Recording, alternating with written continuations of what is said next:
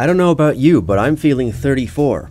I'm Sam Aronow, and this is the recap video for the first half of the First World War, where I talk about things I left out of the videos, correct mistakes that I made in the videos, and answer questions from Gaon and Navi level patrons on Patreon. First, some news. YouTube channel memberships are now open for those who didn't want to go through Patreon with the caveat that YouTube memberships are only at the $1 level because I didn't know how I could offer benefits on two separate platforms. I'm also in the United States, doing a lot of industry stuff, networking with other creators, and I'm also working on my second book, which has essentially nothing to do with my work on this channel. It's just something I've wanted to do even back when I was in film school 10 years ago. And since I'm here, I'm going to do it. So I'd like to apologize in advance if there are any minor gaps in my output in the coming months. That's why. But before diving into the true epics of the late First World War, let's talk about what we've seen so far. In my video on the Zion Mule Corps, I at least implied unintentionally that the titular military unit was composed solely of Jews holding Russian nationality who'd been expelled from the Ottoman Empire.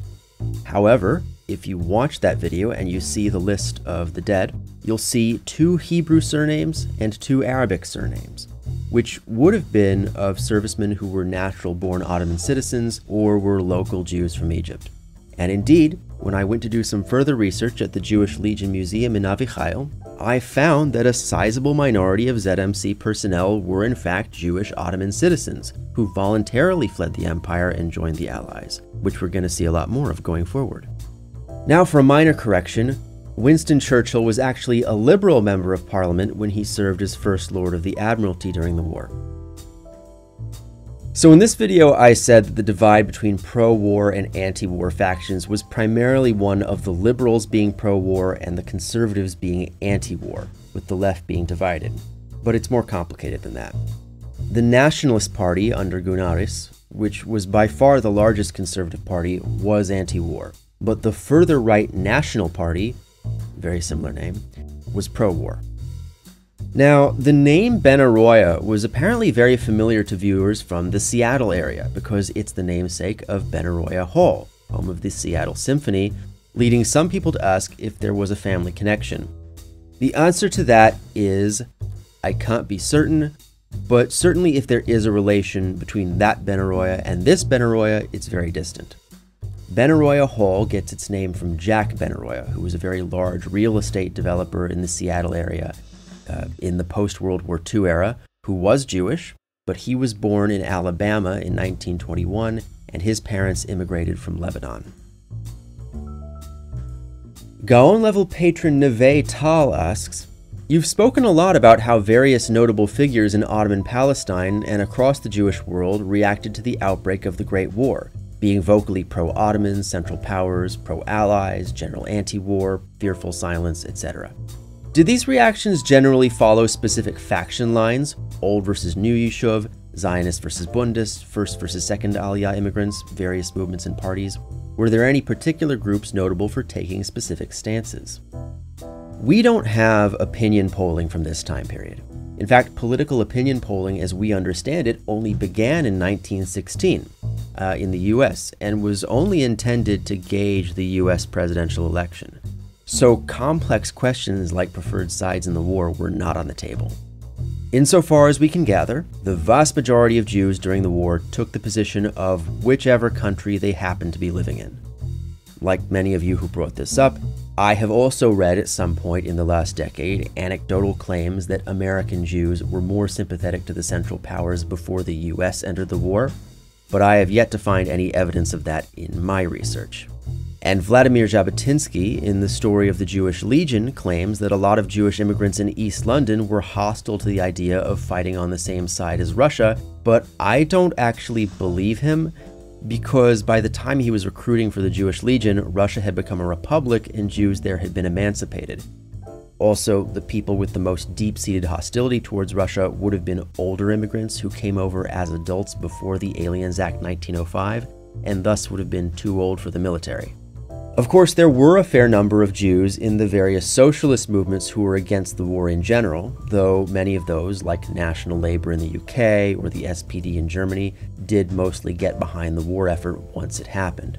To be fair, I haven't really gone deep on Russia yet, but otherwise, to my knowledge, the only place where Jews actively sided against their own government in significant numbers was Palestine, which I'll remind you was still only home to about a quarter of the Ottoman Jewish population.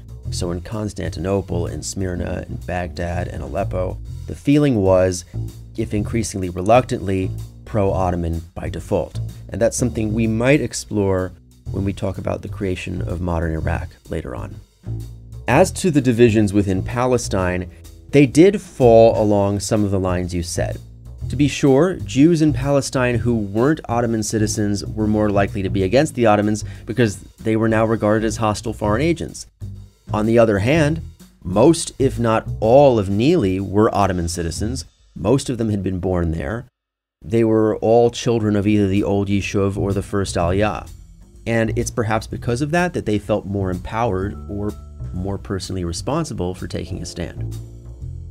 Now, in the video, I said that Jamal Pasha's reason for concealing the Armenian genocide as it applied to Palestine was murky.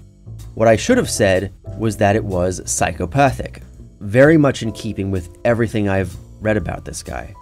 Basically, I don't know how verifiable this is, but allegedly his idea was to distance himself from the genocide in the eyes of the Allies in the hope that they would get the idea to support him in a coup against the other pashas, by which means he would become the new undisputed ruler of the Ottoman Empire. Like I said, the man was a psychopath. Even among the three pashas, I've seen him described as the psychopathic one. And yeah, the delusions of grandeur, every conversation of his I've read, he threatened to have the other person killed. Often in my line of work, I find myself engaging with these historical figures as if they're alive and I know them. And studying Jamal Pasha was uh, an experience I'll not soon forget. I look forward to his death. Navi level patron Oshar Gordon asks you mentioned that the ZMC refused to participate in suppressing the Easter Uprising in Ireland on the grounds that their contract was limited to fighting the Ottomans, but some did end up fighting on the Western Front in France. Did ZMC members end up fighting with British forces elsewhere? This was actually a mistake that I made. Thankfully, to correct it, I now have a copy of Jabotinsky's Story of the Jewish Legion, which has been out of print since 1945. I had to pay $50 for a copy, but it usually goes for like $500. So I was very lucky because this book is the only source for a lot of stuff that's going to become relevant when I cover the late stages of the war. In the book, Jabotinsky says that when Trumpeldor's remnant company arrived from Egypt, uh, which is a real story on its own, and I'm sure we'll get to it later, Jabotinsky joined up, and Colonel Patterson reorganized them as Platoon 16 of the 120th Battalion of the London Regiment, also known as the Blackheath and Woolwich Battalion. Now, when I wrote the script for Nili, all I knew at the time was that they were part of the 120th and that the 120th did anti aircraft duties at the Somme. However, Platoon 16 appears never to have been sent into the field in this form.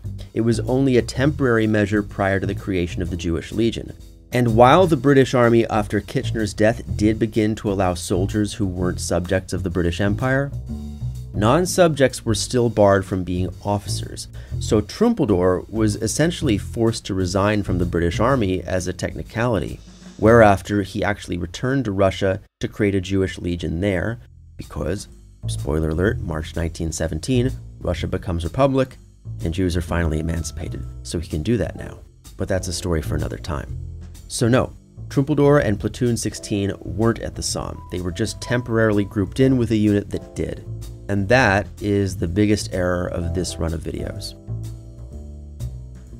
So to make the Judenzählung video, I ran my script towards uh, a guy who runs a channel called SirManatee. It's all about, well, mostly about Imperial era Germany. It's a really great smaller channel. He did a lot of work for me. He found me German language sources. He provided the voice of Hohenborn go check him out, please. And, and if you really like it, I encourage you to subscribe to his channel. He also wrote to me that uh, the phenomenon of Jews being more accepted in the military in wartime, also fell in line with a pattern in which further Jewish emancipation in Prussia often happened in times of war when more officers were needed. The same thing also happened in the War of 1870. This reminded me a lot of the phenomenon of temporary gentlemen in Britain, which I alluded to in the ZMC video. Because there was such a shortage of officers by mid-war, the British were promoting men without higher education to officer ranks. But then when the war ended, they didn't enjoy any kind of social advancement like they had during the war. And something similar, if even more dramatic, happened in Britain during World War II. Friend of the channel Sir Manatee writes again, there's still a huge discussion going on among historians to what extent the spirit of 1914 got mystified. Personal feelings regarding the outbreak of the war differed from person to person. It's true that younger, more middle class people from the big cities came together to cheer for what they considered to be a just act of defense. In the more rural or working class environments, however, a general feeling of helplessness and dejection was much more common. So, what I said about Jews being disproportionately represented in the Air Force isn't just a phenomenon of Imperial Germany. In fact, it probably sounded very familiar to viewers in the US, whose Air Force also has the largest proportion of Jewish personnel of any of the six branches of the military. At least I think. I don't nobody knows anything about the Space Force. The Air Force is the only branch that's had a Jewish chief of staff. In fact, it's had two. And that's additionally surprising if you know your American politics because the Air Force, and especially the US Air Force Academy, has a really nasty and really ongoing history of racial and religious discrimination to the point of basically evangelical missionaries within the academy system pressuring cadets to convert for promotions. I actually went down this rabbit hole because of a comment on Todd in the Shadows video on the band Arrested Development. It made sense in context. Gaon level patron Richard L. Benkin asks, my doctoral dissertation was about the East European Jewish community, and so, of course, covered Russian anti Semitism prominently as it drove much of both community development and the mass outmigration to the United States, Israel, Canada, and elsewhere. In my studies, I found ample evidence that Jews were happy to see Germans replace Russians as rulers of the lands where they lived. Any comments about that, especially given the level of German anti Semitism that you covered in your World War I video? Uh, I'm taking this because we haven't gotten to the Russian Revolution yet, and the German occupation in like the Baltics was pretty short-lived. I'm going to zero in on Poland here. And as I said earlier in the video, I haven't really given Russia a deep dive yet as concerns the war, but the situation in Poland is interesting. It's complicated, it's always complicated, and this is going to come up repeatedly in the episodes to come, but World War I wasn't World War II. It was not an innately or obviously ideological conflict. And when the war did start to become more ideological toward the end, it was more of an ideology against the idea of empire than anything that distinguished the two sides from each other. So when the German Empire set up a puppet state in Poland, their main objectives were much more strategic than ideological. To plunder resources, raise armies, and undercut the power of the Russian Empire in perpetuity. And all of these required some level of partnership between Germans and locals. So while there were people like, say, Ludwig Haas, and I'll note that he was Jewish, helping to set up a state structure for the Polish kingdom, and the German military was absolutely seizing control of Polish labor and resources for their own war effort, they also created a Polish army, and they put a man at the head of it named Józef Piłsudski, who would go on to restore an independent Poland and was also very much someone who disdained anti Semitism as a matter of state. So, yeah, I'd agree with the assessment that Germans were seen favorably by locals, including by Polish Jews, though I'd caution that a lot of that goodwill comes out of the fact that the German Empire collapsed and Poland became independent.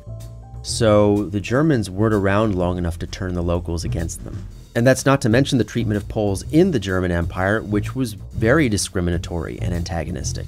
But you'll be happy to hear that friend of the channel Sir will be releasing a video about the German puppet kingdom in Poland very soon.